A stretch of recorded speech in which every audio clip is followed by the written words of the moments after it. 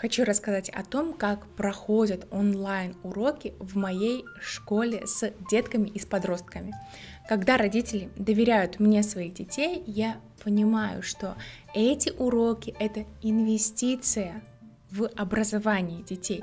И родители хотят не только, чтобы дети могли сыграть какое-то конкретное произведение к Элизе или там, допустим, лунную сонату, но чтобы дети смогли развить свои творческие навыки, чтобы смогли занять свое свободное от школы время. Поэтому основная задача обучения – это помочь ребенку научиться просто читать и понимать ноты так же просто, как он читает книгу. Допустим, вот у нас нотки. Возможно, на первый взгляд показаться, что это вообще какой-то набор э, несвязанных символов. Но это просто потому, что э, мы не знаем, как читаются эти символы. Вот когда мы берем, допустим, книгу, открываем, мы можем прочитать текст, потому что мы знаем буквы, мы знаем слова, как они складываются в предложении, и мы понимаем смысл. Так вот, моя задача научить ребенка читать ноты, понимать смысл и смочь сыграть любое э, произведение, будь то классика или попса, на фортепиано. И даже если пройдет, допустим, 10-15 лет, он смог бы открыть любую песню, которая будет популярна, которую он захочет сыграть, и ее исполнить на фортепиано. Поэтому я не обучаю детей одной, а, песенкам. У меня складывается целая система обучения. Сейчас вы можете подумать, ну, наверное, система обучения это как-то слишком сложно. Мы хотим научиться только для себя играть.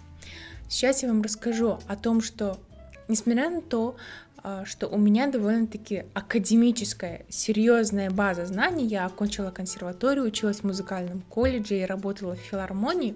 Я всегда стараюсь а, сделать так, чтобы ребенку было интересно.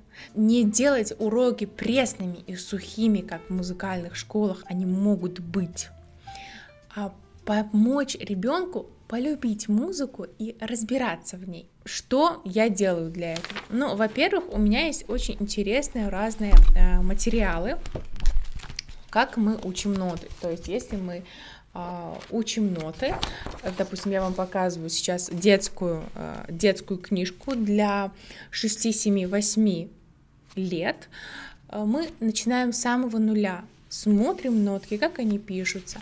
Допустим, уроки сольфеджио э, тоже очень все интересно. И на самом деле я сама люблю рассматривать эти тетрадочки и, и книжки. И всегда немножко завидую своим ученикам, потому что в моем детстве таких книг интересных не было. Второй момент, как я заинтересовываю ребенка, это мы выбираем определенный репертуар, который э, нравится ребенку. То есть мы с ним обсуждаем, что ты хочешь играть. Э, если ребенок хочет э, играть, допустим, песню э, из мультика «Холодное сердце», допустим, песня Эльзы, мы возьмем эту песню и сделаем так, что он сможет ее сыграть. Параллельно с этим мы можем взять какое-то классическое произведение и оттачивать на нем навыки. То есть это такой очень смешанный репертуар для того, чтобы ребенок был вовлечен в процесс. Потому что если ему не будет нравиться то, что он играет, он, соответственно, не будет э, и учиться. Он, соответственно, не будет и достигать какого-то результата. Следующий момент это то, что я даю э, разные приложения в телефон для того, чтобы ребенок мог учить там ноты. Допустим, он едет в школу, может открыть это приложение и быстренько повторить нотки и так обучаться. Э, ну, на самом деле, по поводу э, именно процесса обучения у меня есть такой главный девиз. Самое сложное на уроке повторение и самое простое дома. Я делаю это для того, чтобы даже если родители не знают нотной грамоты, не учились в музыкальной школе, чтобы они, э, так сказать, не были вовлечены в процесс именно обучения. Чтобы ребенок э, мог на уроке учить что-то такое самое сложное, я бы ему объясняла, и потом дома он закреплял этот материал. И даже если что-то он подзабыл, он мог бы написать мне э, и спросить, я ему сразу же отвечаю. Какая система образования? Я вам сейчас расскажу все по пунктам. Первый пункт мы учим ноты, то есть мы смотрим, как располагаются ноты на нотном стане, на, фор на фортепиано и на клавиатуре. Далее мы изучаем длительность. Понятно, что музыка — это искусство во времени, и именно длительность каждой ноты, она очень важна. Поэтому мы изучаем длительности, потом различные средства музыкальной выразительности, делаем какие-то упражнения на технику для того, чтобы пальчики были готовы к этой нагрузке. Параллельно с этим мы берем одно-два произведения и уже на практике вот эту вот всю теорию применяем. По поводу соотношения теории и практики, каждому ученику подбирается все индивидуально.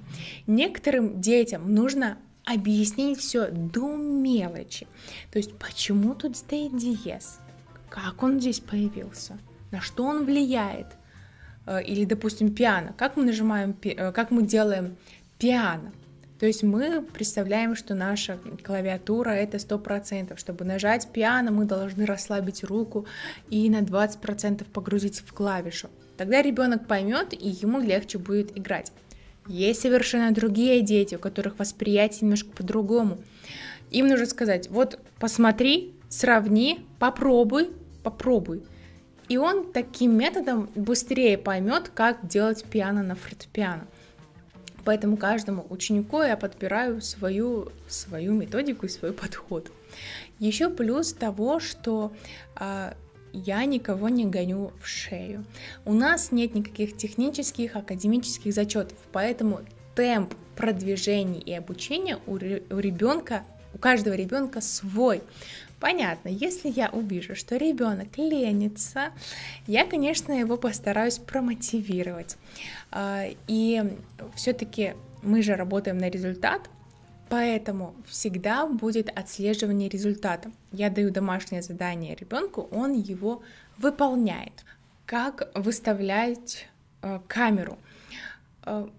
Обычно камеру мы ставим возле клавиатуры. То есть вы можете либо купить такую кольцевую лампу и ставить на штатив телефон, как вот у меня сейчас стоит, она светит мне в лицо, либо ставить сбоку фортепиано. Вот вы можете увидеть мое фортепиано, и там рядышком стоит э, маленький столик и ваза. Это ваза два в одном. И ваза, и держатель для телефона. То есть э, вот ваза, я ставлю телефончик рядышком, и так, чтобы была видна клавиатура. Ребенок также ставит телефон рядышком, и я вижу его руки и э, клавиатуру. Но на самом деле мне не обязательно видеть клавиатуру, потому что если ребенок нажимает неправильную ноту, я сразу же это услышу. Ну, у меня просто такой слух натренированный, что я могу это сразу же вычислить.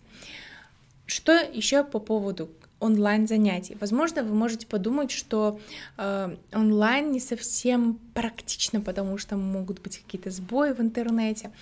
Возможно, два года назад это было не совсем приятно, но э, за этот период э, такие платформы, как Zoom, Instagram наладили лучшую связь и лучшую картинку э, и звук для того, чтобы проводить онлайн занятия. Единственное, что у вас должен быть хороший интернет для того, чтобы действительно ничего не зависало. Но это мы сможем с вами проверить на пробном нашем занятии.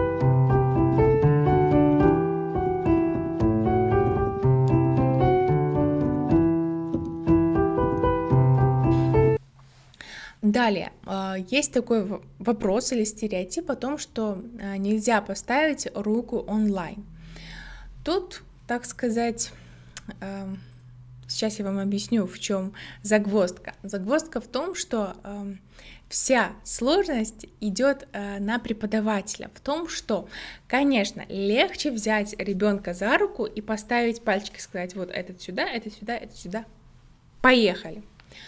Теперь мне придется а, онлайн так сказать, воззвать ко всем своим э, речевым преимуществам, э, взять свой словарный э, багаж и попытаться ребенку объяснить.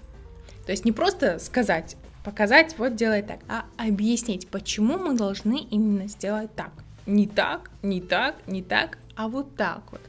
И ребенок уже а, будет пропускать а, постановку рук уже через свой фильтр и контролировать вот эту вот постановку руки. Каникулы и отмены уроков. Если вы уезжаете на каникулы, допустим, летом вам нужно на море, мы останавливаем занятия, и в любое время вы можете снова их возобновить.